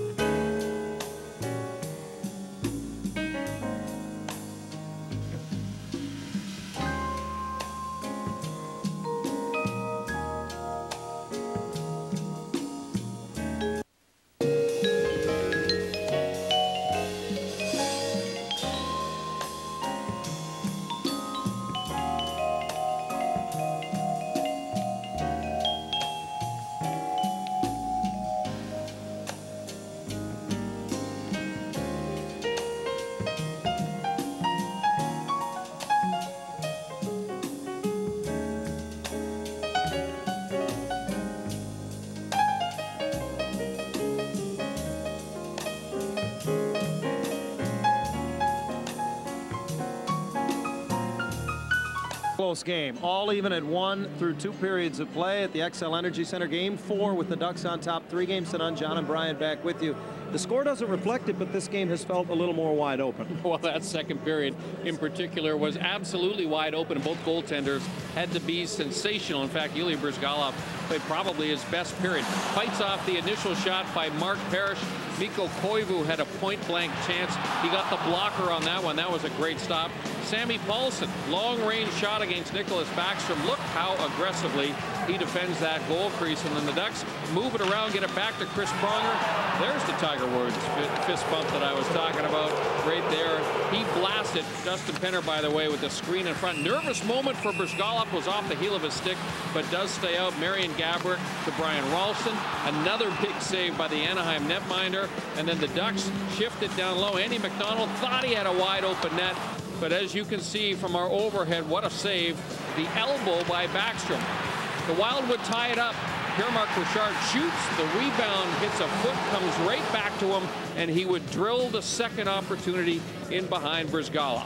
And look at the numbers after 40 minutes of play, and you can see, again, the power plays with the Ducks with the advantage, and, and that's critical, Brian, because the first 72 seconds of the third period, the Ducks are going to have the extra man. And, and it really is remarkable. We've talked a lot about the power play situations so far and how dominant Anaheim has been in extra man situations they are able to get the puck into the zone and get the power play set up. And it looks to me like the Wild are confused how to stop that. I don't know if there is a way to stop it because Niedermayer and Pronger make those great decisions whenever they get across the center red line. Watch for that in, this initial power play. If Anaheim gets set up on the power play, it's going to be all kinds of problems for Minnesota. You think the Wild are going to continue to try to stuff it in from off the goal line and just have everybody go to the crease? I think Mark Parrish said it all. They're, they are having so much difficulty getting any shots through that they've changed their game plan. They're going to throw it at the Anaheim net from everywhere, and they're looking for a bounce. They got a bounce on their only goal. Well, should be very interesting. As we said earlier, the Ducks win a period, they win a series.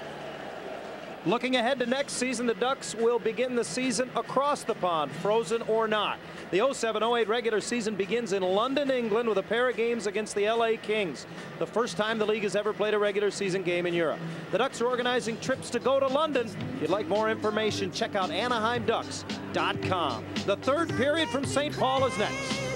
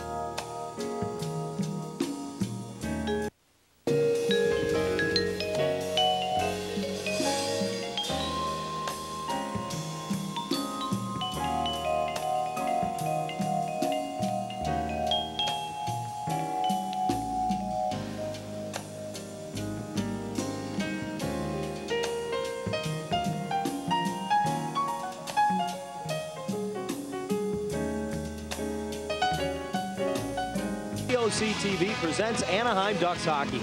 Brought to you by Honda, the power of dreams. By Mountain Dew. And by Miller Lite. Good call.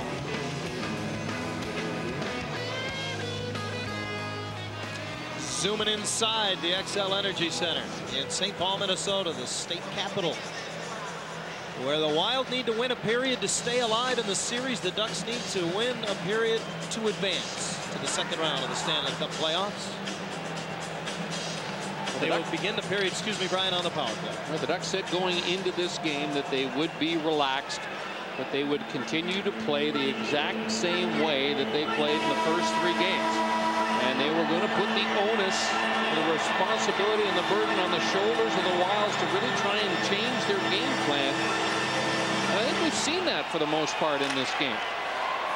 Minnesota has changed in the sense that they're known as an open ice team and a skating transition team that counterattacks so well. They haven't been able to do that at all in the series. Now they've turned into a team that shoots from everywhere.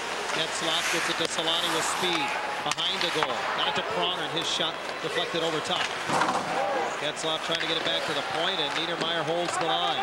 Behind the net, Penner reverses it back. Selanne has it. Once more to Penner on the goal line. Back for Teemu behind the net. Side to side they go. Right point Scott Niedermayer, left point Pronger touches it for Getzlaf. Half a minute in the power play. Getzlaf takes a look. Backs it out. Now winds up. Redirected just wide by Selanne who gets the rebound himself. Yeah, that high tip play very effective for the Ducks. Selanne looks. Doesn't have a passing lane. Getzlaf to Pronger. One timer. Big rebound. Went right into the midsection of Scott Niedermayer and he couldn't get a shot away. To the line. Pronger will glove it down and hold it in. Sneaks it to Niedermayer. Down low. Penner drops out to the hash mark. Now to the line. Pronger. The penalty just about over. His shot deflected by Selanne to the corner. Gaborik out of the box. Minnesota full strength. Two shots on goal on that power play. Selanne drives to the middle. Had his shot blocked and then got a stick on it once more. Huge penalty kill for the Minnesota Wild. But boy, the Ducks, again, lots of time in the offensive zone. And they had a couple of plays set up that they missed on, but did not miss by much. Here's Gaborik out of the corner with it. Converged upon by a pair of defenders, including Sammy Pahlsson, who got upended but was able to clear the zone. Oh, boy, Marian Gaborik looked like he may have got away with one there as he caught the skate of Sammy Pahlsson. Demitra battling Moen, got it into the zone. Rolston drops it back. Gaborik, glove save! Ilya. A stop by Bryzgalov. Turnover in the Anaheim defensive zone, and that is something we have not said very often in this series. But the Wild keep a loose puck alive right there. Bouncing puck. Rolston taps it over. And a big left-hand glove save by Bryzgalov. Gaborik, boy, gets that puck away in a hurry, doesn't he? He got a lot on this snapshot. What a save. That puck was ticketed for the top corner. The Anaheim netminder came up huge. Sean O'Donnell commenting earlier in the series that he said he thought Gaborik got the shot away as quickly as Joe Sakic. And a penalty coming up for the Ducks after Nummelin's shot got through. And a holding call will give Minnesota their fourth power play chance of the game. Now this one is going to go against Kent Huskins. And the key here is how quickly Nummelin is able to get that shot away from the blue line. See if we can pick it up. There's Kent Huskins. It's Boogaard that he's dealing with. I don't see the hold, quite honestly. I do not see the hold on Kent Huskins. Well, neither did Randy Carlyle, who was barking at Dan O'Rourke, the referee. Nonetheless, the Duck penalty kill on the spot again. Off the half wall, Gaborik down low, right into the crease. The pass went off of Bryzgalov. Nummelin holds it in. Dances all the way to the goal line and then back. Rolston for Nummelin. They overload the left side of the zone. His shot blocked by Pronger. Went right to Demitra. Passes it across. Gloved off by Bryzgalov. You know, it's it's a, just a real nice play by Ilya Bryzgalov. Uh, when the puck is set up on the blocker side of the goaltender on a power play, he uses not only his stick, but his catching glove to shut down a, a passing lane. Look at that glove, perfectly positioned over top of the goal stick. It makes it very difficult. From the reverse angle, you see it perfectly. Nice play by Ilya Bryzgalov. Pahlsson wins the draw. Pronger clears the zone. Half a minute gone in the penalty to Huskins. Nummelin picks it up for Minnesota. Hands it off to Bouchard. He has Minnesota's only goal of the game and feeds it in. Adam Hall pressuring Pronger. Pronger rims it around, but Nummelin there on the hash mark to hold it in. Paul behind the goal has it dislodged. Rob Niedermayer drops down. Nice little play. Got it to O'Donnell. Pronger will ice it. You know, when the Ducks defenders sense that the Wild have it on the backhand side or it's in their skates near the boards, that is when they pounce in pressure. They don't pressure all the time. Gaborik sends it in. Getzlaf chips it along. Moen turns. He and Burns do battle. Burns kicks it down low for Gaborik. Gaborik picked up on the near side by Scott Niedermayer. Puck jammed into the crease. They score!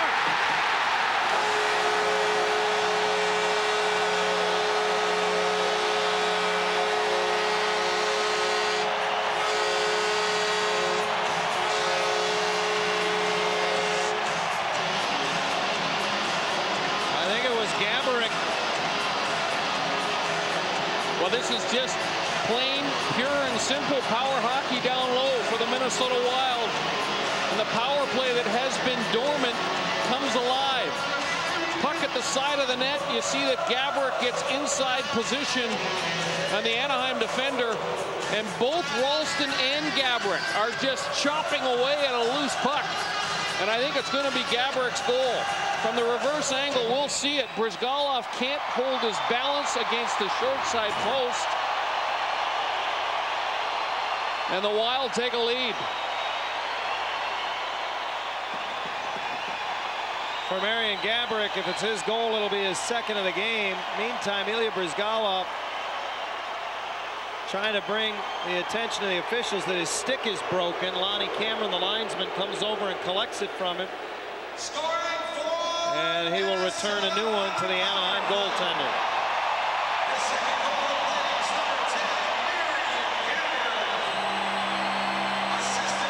Marian Gaborik, his second goal of the playoffs. And the Wild take a lead in this game, and now that changes everything. Now it's Anaheim that has to play from behind, and they have to start activating their defense. McDonald steams in. Gets his own pass after it was deflected away from Selanne to the high slot out of the reach of Huskins who will not hold it in. And the Ducks touch up. Minnesota with their first lead of the hockey game, two to one. And their first lead since one nothing in game one. Scott Niedermayer's pass helped out of the zone by McDonald. Corey Perry takes the rink wide feed from Penner. A high wrist shot and a rebound to the slot. Penner knifing at it, couldn't get his stick on it. Rolston gets to the loose puck and hammers one out of play. Off the stick of Sean O'Donnell, so this faceoff will be just inside the Anaheim blue line. The linesman's taking the puck to the top of the faceoff circle. There's the bid by Corey Perry, and Nicholas Backstrom leaves a bad rebound. He doesn't know where the puck is. You see him looking around for it. Great look our super slow-mo camera, and a nice job by Martin Skoula to clear the area in front of the Minnesota goal crease. Getzlaf to oppose, oppose Koivu, who wins the draw, but it hops the stick of Skoula, who will be pressured by Perry.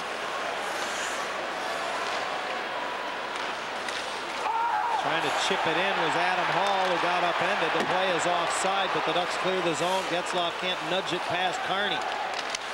Carney now pressured by Penner. Ducks changing defensively, getting behind the defense. Parrish, and his shot just missed. Penner kicks it up and heads up the left side. Moves to the middle. Joined on the rush by Perry. He thought Perry was going to pick it up, so he let it go. And the Wild turn back. Parrish gets center red. Now they want to get a change. Aaron Rome turns with it along with DiPenta.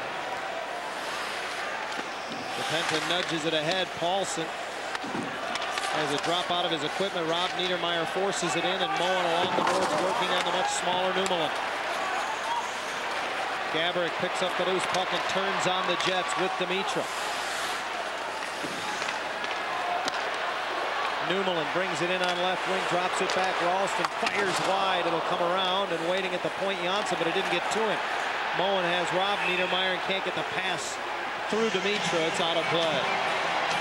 More space in the neutral zone in this game than we have seen for the entire series. From a wild perspective, Mark Parrish gets some open ice, and boy, he does not miss that top corner by much. Look at the space for Parrish. The Ducks were changing their defense. I believe it was Joe DiPenta that seemed to fall as he got off the Anaheim bench, and he was not able to put a lot of pressure against the Minnesota Wild captain. Ducks change quickly off the faceoff. May comes out. And a bouncing puck knocked down by Huskin. Hit the linesman, Rasico. And now the Wild dump it back in. Scott Niedermayer turns it up the boards. Walz sent it towards the net, redirected, and Bryzgalov makes a good save as Veilleux was there to get a piece of it. Yeah, and, and this is something that we've seen a lot from from Minnesota. And boy, is this crowd in this game now. And that is a simple play, throwing from a severe angle, forcing the goalie not only to make the save, but to make sure he does something with the rebound. 14.04 to go, third period. Minnesota 2, the Ducks 1. the series three games to none in favor of Anaheim. Pahlsson wins the draw. Bouchard and Huskins battle for it, and Pahlsson able to get it ahead now for Moen. Moen joined on the rush, will angle it off the boards for Rob Niedermayer, and Dumoulin stepped in front of him and got away with a potential interference. Yeah, he sure did. White jumps into the rush, two on one, and the rebound was there for Parrish, and he was taken out of the play at the moment of truth. Back come the Ducks. Moen and Niedermayer joined by Scott Niedermayer, and Moen redirects a pass right on. Up and down we go in a state where they played plenty of pond hockey. It looks a little bit like pond hockey. Well, the Ducks now trailing in the game, they're not so opposed to that at this point. There's still plenty of time left, but you know, if the Wild are, are willing to play an open game at this point, I think it would be a mistake. They've got the lead. Selanne drove it off the right boards right on, and again, a juicy rebound off of Backstrom. Now Kunitz shot redirected by Selanne, and a dandy save by the Minnesota netminder. Gaborik pressuring Pronger for the loose puck back in the Anaheim zone, trying to turn away from him. They come to their feet in St. Paul. Rolston gets it back from Gaborik, picked up by Kunitz. They brandish sticks, and Kunitz drops it back for Pronger, ahead to Andy McDonald. He lifts it all the way back. This will be an icing call against the Ducks, and it is, so we will step aside. It's getting loud in St. Paul at the Xcel Energy Center because Marian Gaborik has given the Wild a 2-to-1 lead.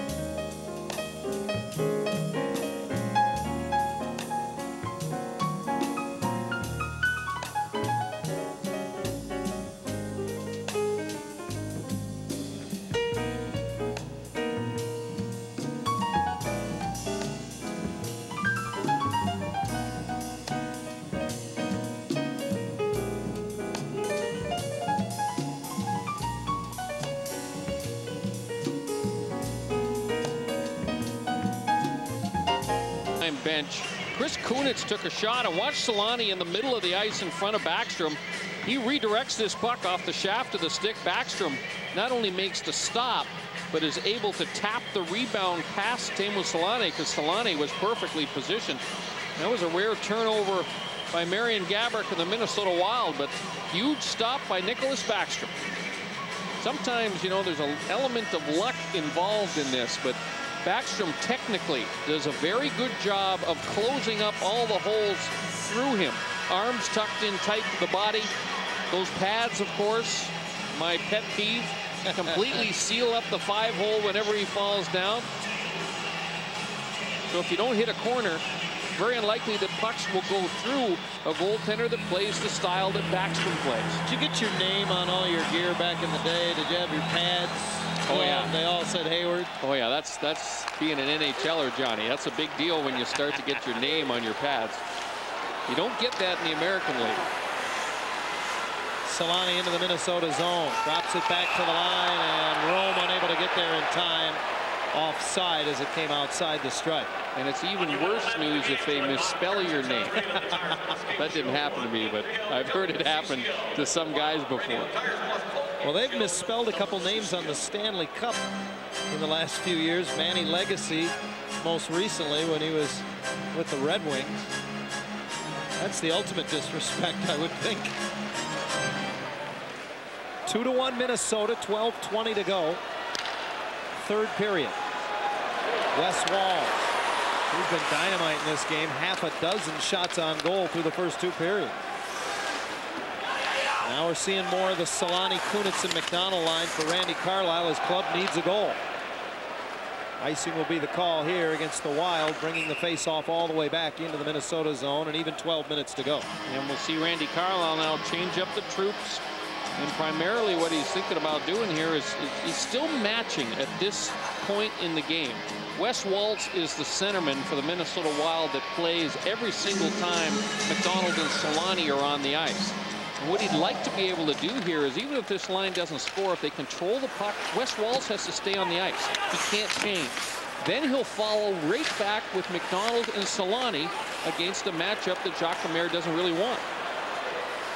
Ducks able to keep Minnesota bottled up for a while, but as it's dumped back in, Perry got upended, and he is slow to get back up. Minnesota able to get the change as the puck came out center. Now Rome has to turn and plays it. Penner circles back. Nice pass up the right side for Getzlaf into the zone. He goes wide and has his shot stick to the back backlash by Backstrom. Came right back to the side of the goal. Anaheim was changing defensively, so it's rimmed around and out. Pronger back with O'Donnell in the Anaheim zone. O'Donnell throws it to the middle of the ice, an area pass that Perry couldn't track down. Skoula now hinges it back for Carney, who angles it ahead. Bouchard turns back with it now into the Anaheim zone. Pierre-Marc Bouchard got it ahead for Demitra, and he couldn't pull the trigger.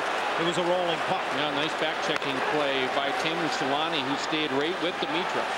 McDonald drives up the right side, hits the brakes, back for Pronger, snapshot, oh, just missed. And I don't think Backstrom saw that shot by Pronger. Rolston speeds up the right side, drops it back. Cutting across the slot Demitra, to Rolston, who slams it home.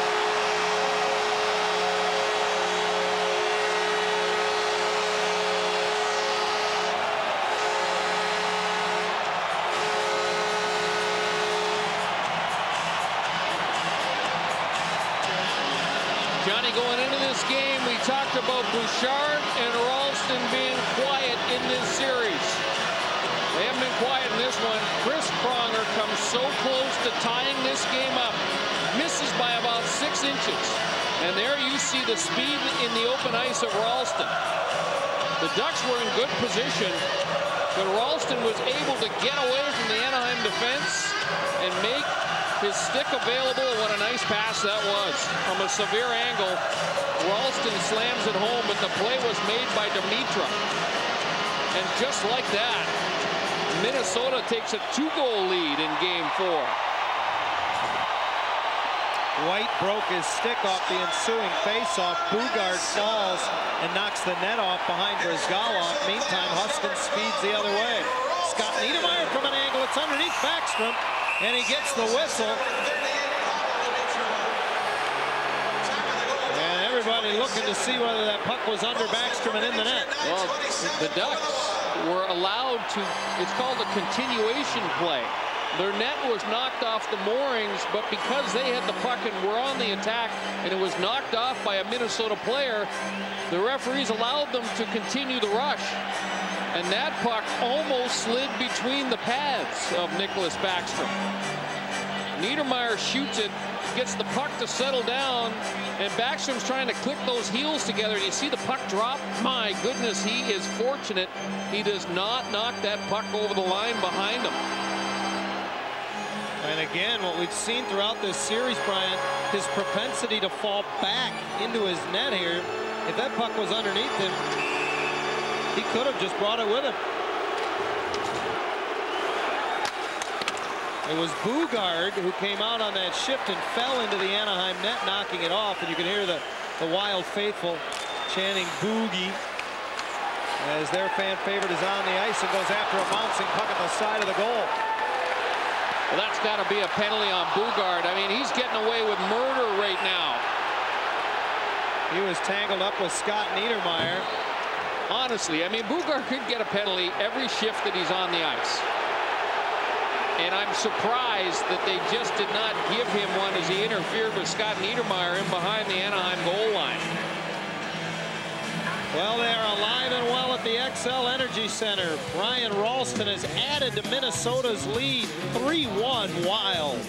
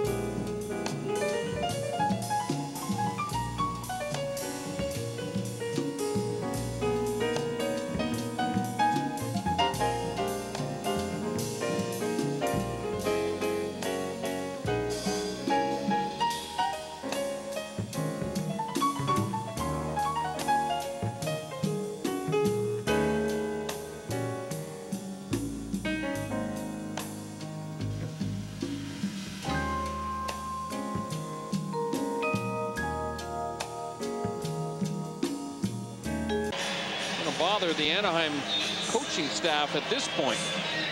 19,174, and they all love that guy. And they are making noise under 10 minutes to go in the third, and the Wild, with the last three goals of the hockey game, now lead at 3 to 1. Koivu tries to glove it down for Bouchard, and Kunitz comes away with it, chipping it in on a cross-corner dump to the right side. Got a good hit in on Skoula as the Wild head the other way. Bouchard trying to get around Aaron Rome. Finds the trailer coming late. Parrish, and he had a rolling puck that he rifled off the chest of Bryzgalov.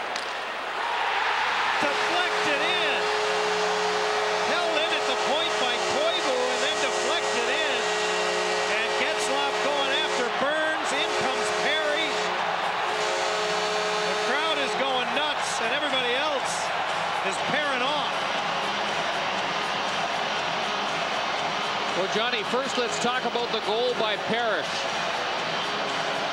Like I said early in the series, that Burns and Corey Perry are going at it here.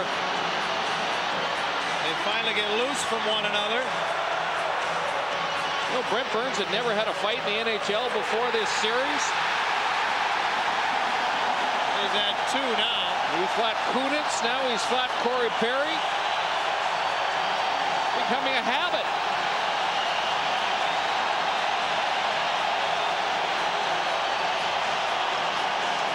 The Wild have broke this game open. Mark Parrish, one of the best I've ever seen at deflecting pucks.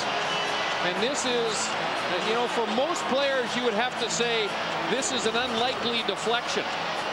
But not for Mark Parrish. Puck goes back to the point. The puck is shot. It's going about, oh, 15 feet wide. Watch the tip by Parrish on the left ear screen.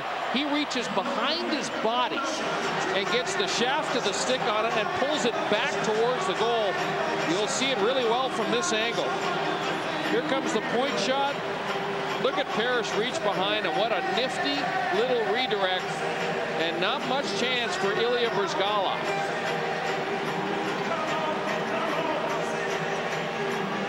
just about everybody we talked about that was on the Schneid in game three, Bouchard, Gaborik, Rolston, and now Parrish have scored goals. Officially off the Schneid. None of them had a shot on goal in game three with the exception of Mark Parrish. And Parrish didn't have a point in the series before tonight. Johnny, with a 4-1 lead, I, I, would be remiss to let the fans at home know that there are select seats available for game number five, if need be, back in Anaheim. And if this score holds up for Minnesota, that's going to be some game. And we're going to get a goaltending change for Anaheim. You know what? This is a very, very smart play by Randy Carlyle. No fault of Ilya Bryzgalov in this game. I mean, the Wild have, have played a sensational offensive game. Bryzgalov had 32 saves to this point in the game. And for the first time in the postseason, we'll get a look at J.S. Giguere. And Jiggy's going to enter the game, and he's going to have to face a Minnesota Wild power play right off the bat. Playoff career numbers for Giguere, phenomenal. 1.95 goals against, a 932 save percentage. The Ducks went into this postseason with the two top goaltenders in the NHL in terms of goals against and save percentage over the course of their career in the postseason. That is a nice luxury for Randy Carlyle to have. Well, Perry gets two for charging and five for fighting. Five for fighting is the call on Burns, so the additional two being served by Ryan Shannon go up on the board, and Minnesota goes back on the power play. Scoring for Minnesota. His first goal of the playoffs, number 21, Mark Parrish. Fifth power play of the game for Minnesota.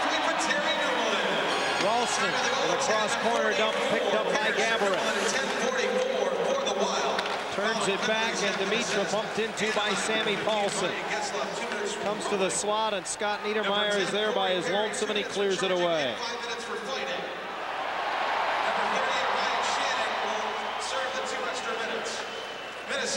Dumoulin throws it up the right side. It went through Gaborik. Kunitz is after it for the Ducks.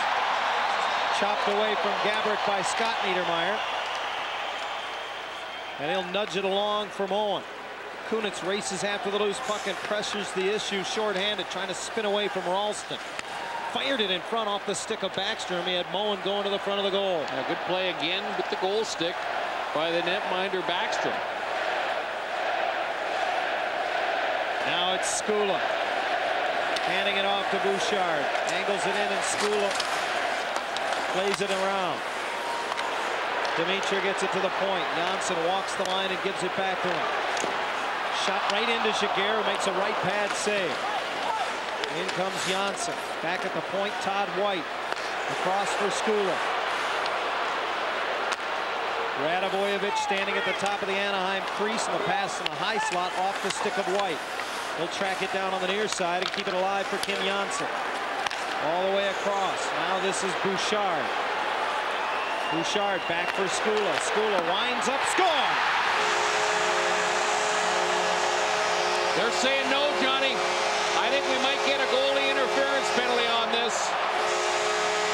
Referee Paul Devorski immediately waved off this goal. And you might be the only man in the building who noticed. No goal outside, and he's not calling goalie interference. He's saying that a Minnesota player was standing in the crease, which I didn't know you weren't allowed to do anymore. Well, let's take a look. The shot goes through J.S. Giguere. It's, it's Radivojevic that is stationed in front of the Anaheim netminder. Boy, I can't remember a goal being taken away without a goalie interference penalty being called. See Giguere trying to look around the screen set up by Radivojevic. And that's a break for the Anaheim Ducks. Jacques Lemaire can't believe it. I'm not sure they would have made that call in Buffalo, Brian.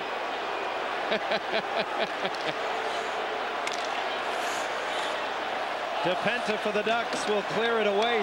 Still a few seconds left. And 19,000 strong begin their chant of we disagree, we disagree.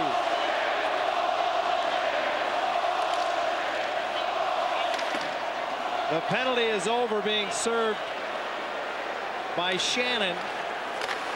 So for the record, a kill for the Ducks who are still down four to one and now time's a wasted. The clock becoming an ally for the Wild.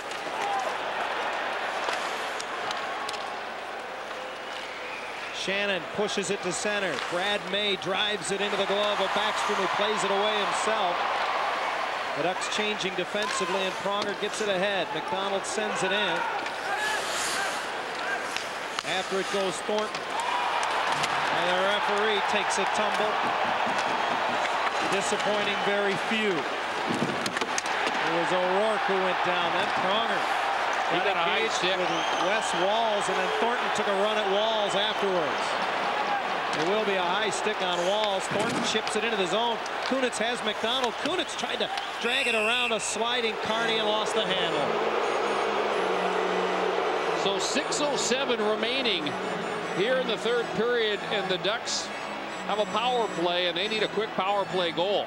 If, if they're going to try and take a run at tying this game up,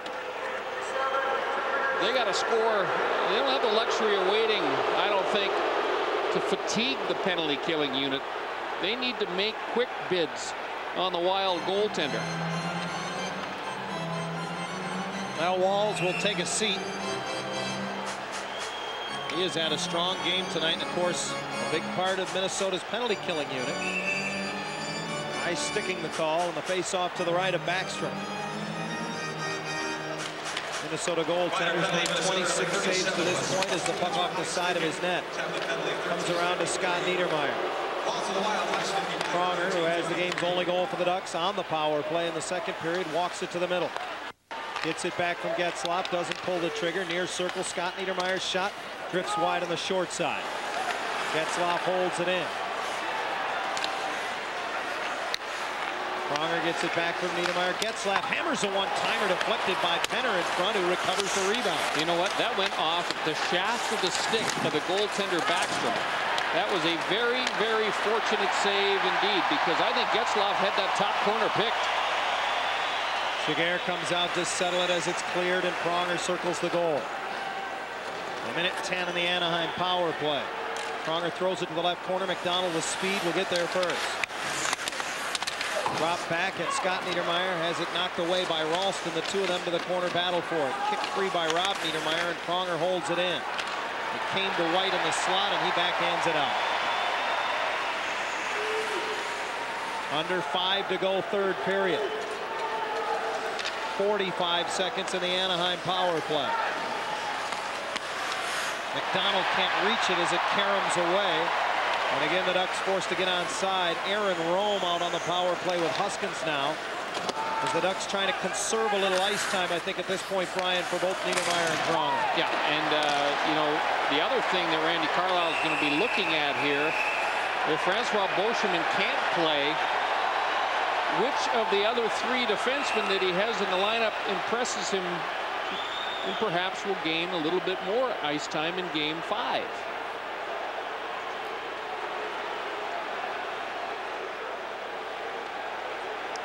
This penalty call is going to go against Chris Kunitz of the Ducks. Charging will be the call. Charging penalty against Kunitz. KDOC TV presents Anaheim Ducks hockey. Brought to you by Pepsi. It's the cola. By Honda, the power of dreams. And by Miller Lite. Good call.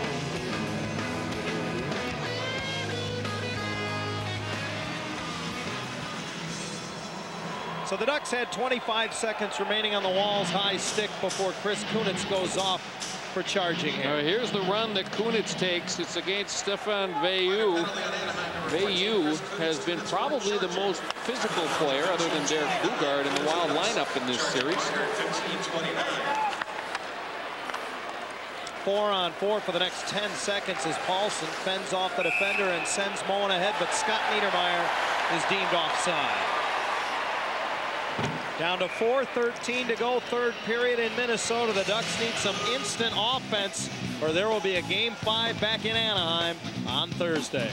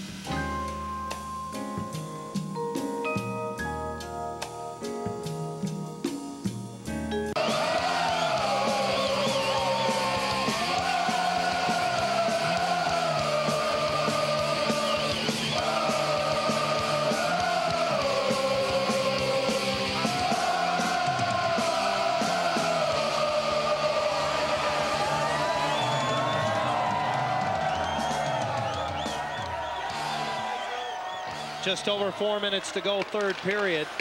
And Minnesota now on the power play as the high sticking call to Walz has expired.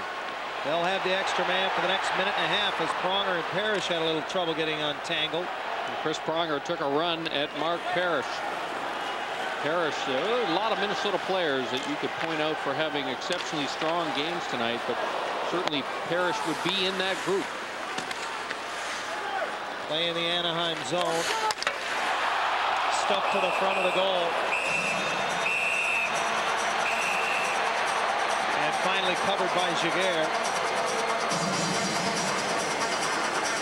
Pronger and Gaborik have words. You know what's interesting about the remainder of this game now is what does Randy Carlyle do with his goaltending for the next game? Uh, it, it, you mentioned he's getting a look at the three other defensemen down the stretch with the ice time. I think he's getting a look at J.S. Giguere as well. You, you like the timing of taking Bryzgalov out, but he's also going to see what he's got from Giguere, who really hasn't played, Brian, in two weeks. Yeah, absolutely, and this is a valuable game time for Jiggy. There's the run that Chris Pronger took at Mark Parrish moments ago. Parrish got the sense that he sensed that Pronger was in the vicinity. Did a nice job getting away from that hit. Under a minute to go on the power play as Bouchard behind the net, fended off by Getzlaf. Pronger moves it ahead, and Moen protects it long enough to clear the zone. This is the sixth power play of the game for the Wild. They have scored on the power play here tonight, marking the second consecutive game that they've done so. But they're just two for 20 in the series. Getzlaf shorthanded. Boy, a nice move to get around a couple defenders and then lost an edge as he tried to get back to the slot. Gaborik feeds it back in. Demitra bumping with Pronger. In comes Aaron Rome, who plays it around. Skoula swings it back down low. Radivojevic from behind the net. That one bounced off of the shins of Demitra. Carney trying to hold it at the line. Does. Down goes Moen. And again, it's held in by Carney. The veteran walks it to the roof, right to the top of the slot. Tips it back now for Demitra. And out of the box is Kunitz, who receives the stretch pass. He's in on a breakaway. Kunitz goes. Oh, he hit the post. He went to the forehand as he got around Backstrom, and he rung it off the plumbing. I don't know if he got the post, Johnny, or if Niklas Backstrom actually got across with that right toe. Down to 2.05 to go now as DiPenta comes up the right side. Up the glass, knocked down by Johnsson. Shannon will hinge it back. Huskins once more for DiPenta, who hammers it off the boards, and that will elude Brad May. Johnsson taps it along. And back behind the play, Adam Hall, oh, look out, is fighting with Huskins, and Thornton came from all the way across the ice to get in there. Now Brad May has a hold of someone. Veilleux and Shannon are ragdolling one another. DiPenta tr trying to get at Veilleux as well. Koivu is down on the ice for the Wild. That's who Brad May was tangled up with. You know, Shawn Thornton, Thornton may very well be given a third man in here. Well, I think he will. But the reason why he went after Adam Hall is that Hall is trying to go Kent Huskins into a fight. And Huskins isn't a fighter. So Thornton does his job. He will get a third man in penalty. And you know what? It was Kim Johnsson, excuse me. It wasn't Mikko Koivu. Janssen went down and, and turtled when he had Brad May in the vicinity which is understandable because that's not going to be a scrap that he wants to get involved in.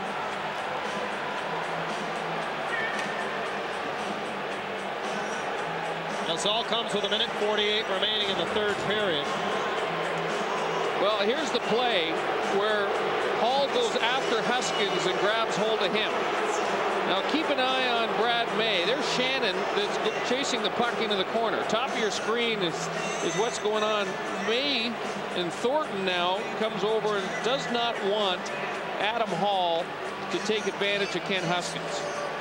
And uh, there's no doubt that he's going to get a third man in for that little altercation.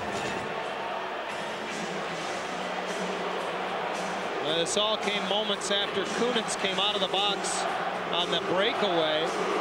The fans are calling for Boogaard. Boogaard saying, I can't wait to get on the ice to knee somebody else. And the discussion continues. Brian Getzlaf telling him to sit down. With a minute 48 to go, almost a foregone conclusion at this point that the Wild will force a game five on Thursday back in Anaheim. Brian, you said select a, a limited amount of seats still available for that game? It's going to be some game. I don't think if you're interested in seeing that one, might want get on the horn. Get on the horn to Honda Center as Boogaard comes over the boards.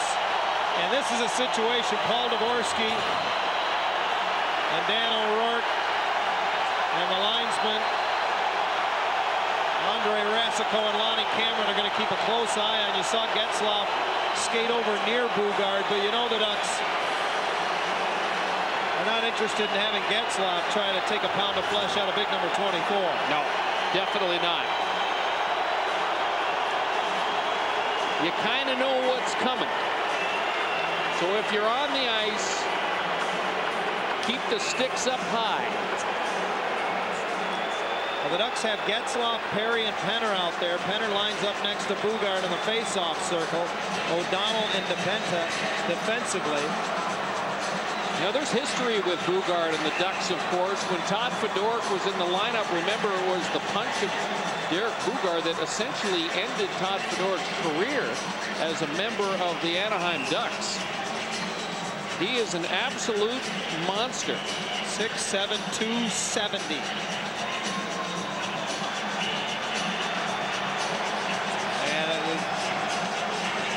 Shannon is reported to the Anaheim penalty box. We never really got any clarification from the public address regarding all the penalties. Adam Hall has gone off. A lot of players have gone off with just a minute 48 remaining. Even a minor penalty is going to spell the end of the game for you at this point. And now they're blowing the horn for the referee to try to get more clarification. Hopefully they've got a little more clarification than we do. I haven't heard a single penalty yet. Well, Anaheim's only got four players on the ice. So this Minnesota is, has five, so this is a power play situation for the Minnesota Wild. Yeah, there's a major to the Ducks, apparently.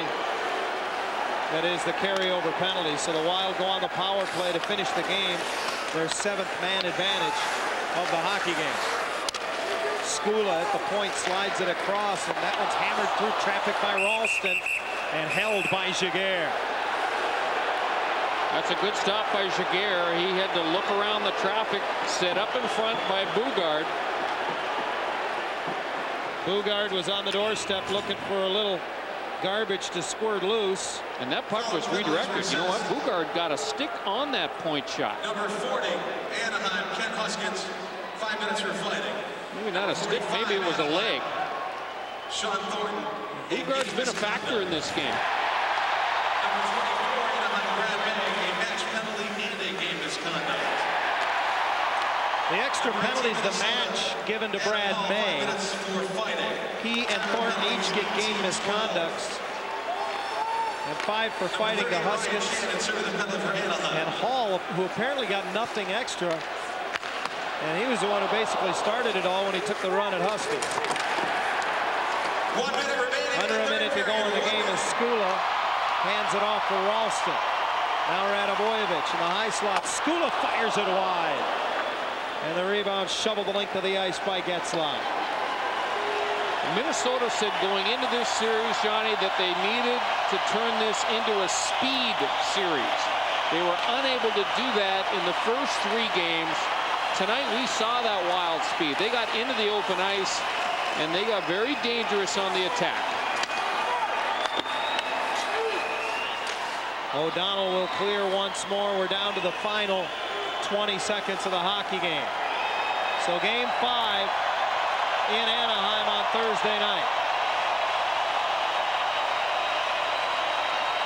As 10 seconds is all that stands between the Wild and their first ever playoff win against the Ducks in eight tries. Well, when you think about this from a Minnesota perspective, they got the style of game they needed to win game number four. I don't think Anaheim's going to feel that bad about this game because they took care of business in game three. They got the split that they needed. They can close out the series by winning at home. Our Miller Lite player of the game tonight was Mark Parrish. He got a goal. He got four shots. And I thought he was very dangerous from start to finish. Detroit Red Wings thus far. Again, now to Langkow. Back to Iginla. Iginla trying to get away from a couple of checks. Dishes it off. Langkow with a shot.